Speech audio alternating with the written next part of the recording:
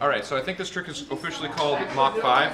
I think it's awesome. My wife thinks it's stupid. Um, but with regular tricks, the yo-yo flies everywhere and I kind of hold still. But in this trick, what's going to happen is the yo-yo is going to hold still and my hands are going to move instead. So let me see if I can set it up. I haven't done this in a while.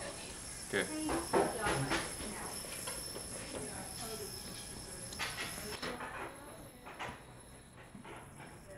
There you go.